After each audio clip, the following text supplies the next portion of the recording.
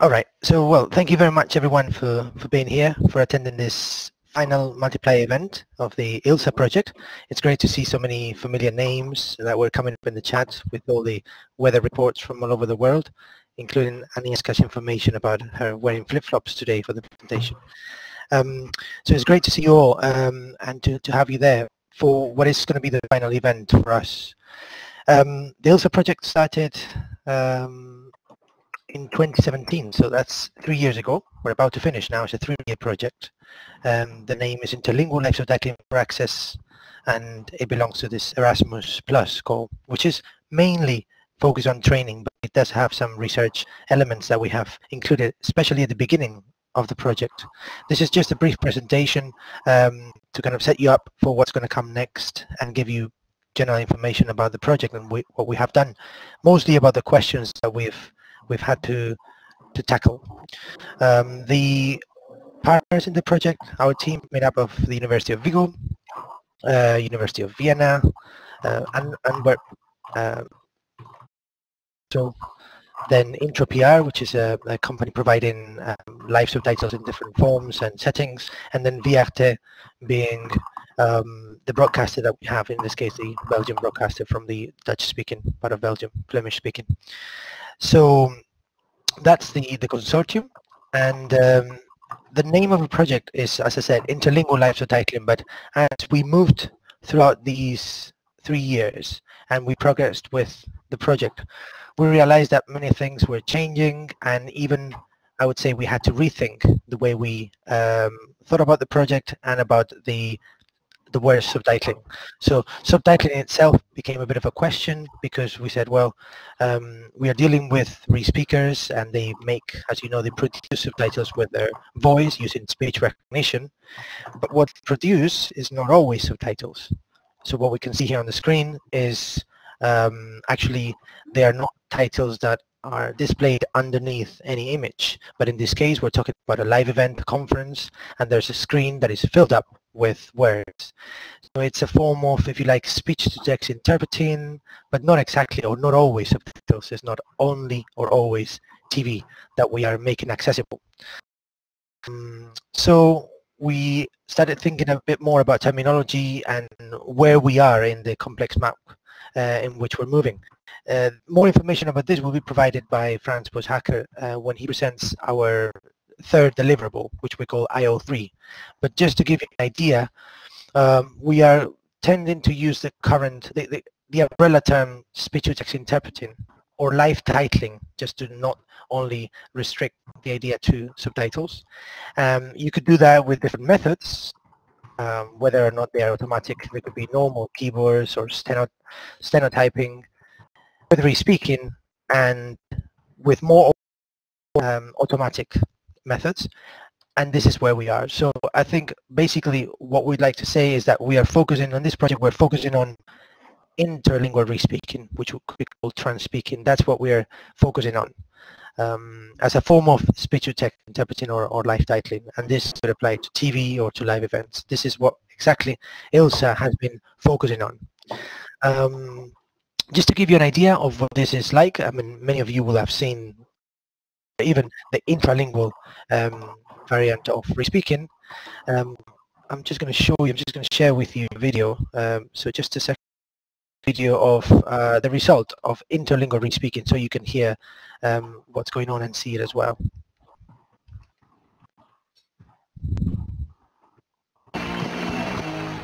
Ablex.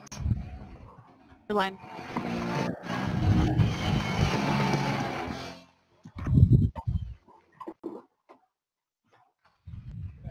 Pedrex. Hi, Andrex. Welcome, comma. How are you, Pedro? Question mark. Pedrex. I just got off a plane recently from a couple of months in the Amazon period. Andrex. So your jet lag is mental and physical. So hopefully uh, you will have been able to see and hear some of that. It's difficult to know, but hopefully you will have. Let me just uh, share my presentation. And that would be an example of interlingual re-speaking or trans-speaking that has been um, done by one of our students who has been trained with the um, materials in the ILSA course. So just back to my presentation. And this is station, an interlingual re-speaker, another interlingual re-speaker who's hopefully going to be with us today, Nancy Guevara. We, she was trained as well with ILSA materials. Um, and you can see all the different post-it notes that she has around her screen uh, with all the different macros and, and, commands that she has to use when she's um, re-speaking interlingually.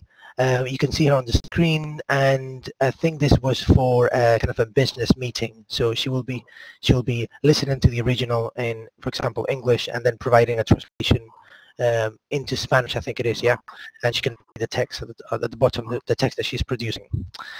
So the questions for us were, what do we do with this? I mean, we know that this can exist, but what can we do in order to train uh, interlingual speakers? So we asked some questions that we wanted to find answers to through this project, which was how is speaking currently being trained and delivered, both intra and interlingual?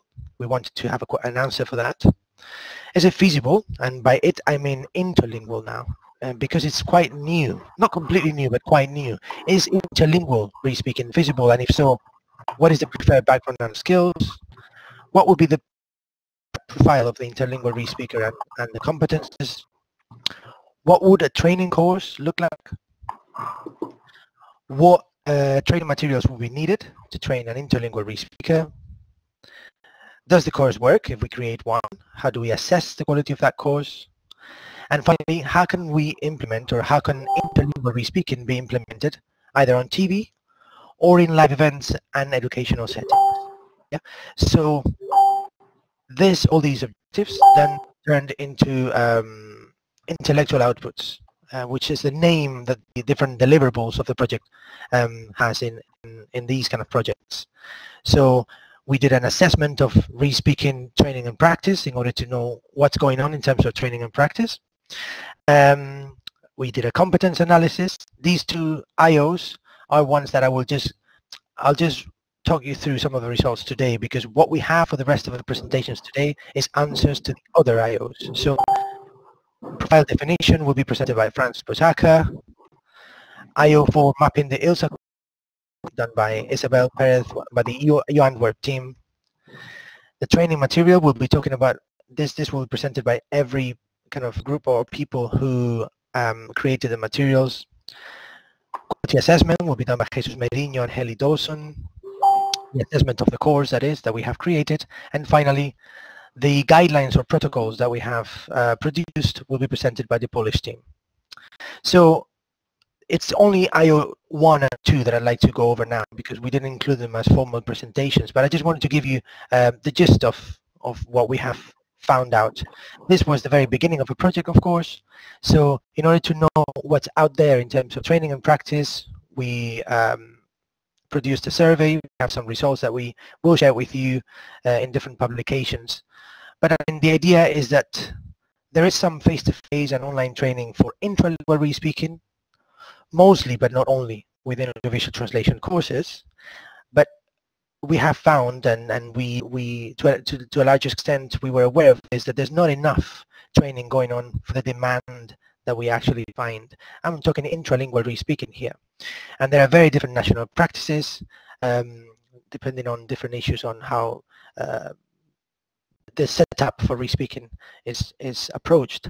But for interlingual respeaking, very, very sporadic practice um, and virtually no formal training, at least three years ago, very little training. Um, and the demand has grown considerably now. So all these, I mean, obviously much more thorough results can be found in two articles where, where um, our colleagues have kind of disseminated the results of those, uh, of the survey. That's for the first deliverable or IO. For the second one, we conducted some experiments, most um, conducted by Hayley Dawson, who uh, whose thesis was of, whose PhD thesis was aligned with the ILSA project.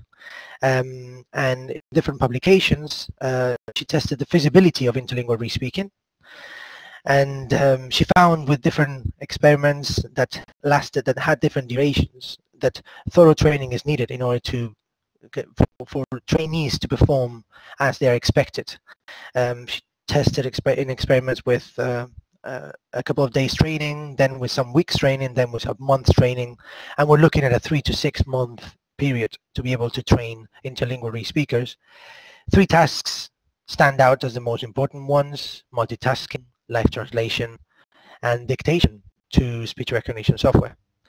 Um, and then who is better suited is a difficult question, but um, most of the tests were done with simultaneous interpreters who tend to perform quite well, intralingual re-speakers, um, and subtitlers, some of them actually managed to perform very well as well when they were very good at multitasking and, and live translation. So, so different profiles could be suited depending on the training and their and the performance.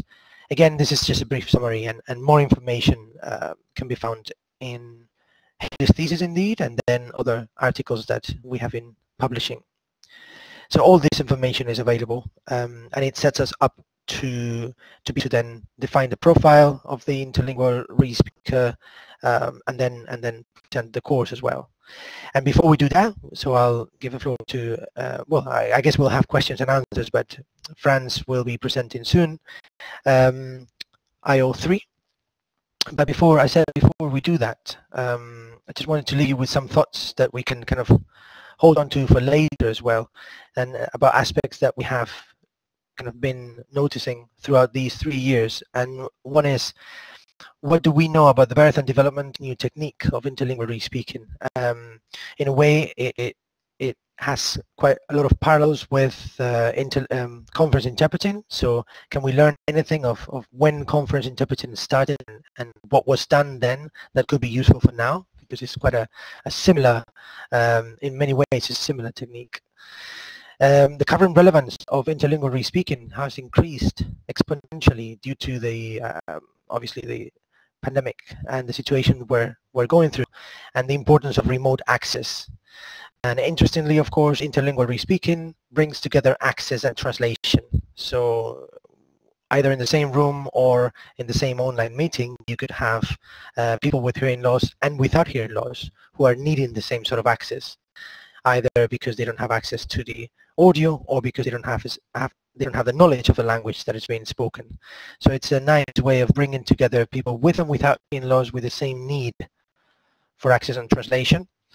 And finally, of course, uh, how does interlingual speaking compare to the alternative methods that are out there, which could be fully or semi-automatic. That is, the recognition part could be done automatically or the machine translation part, and how does that compare to what we are dealing with here. So all these questions just have a, at the back of our minds as we see the presentations and they will be dealt with and addressed and discussed um, in the panel that we'll have at the very end of the event. So that's it from me. Thank you very much uh, for being here and over to you, Isabel, for any questions and then obviously to Franz um, so that he can present IO3.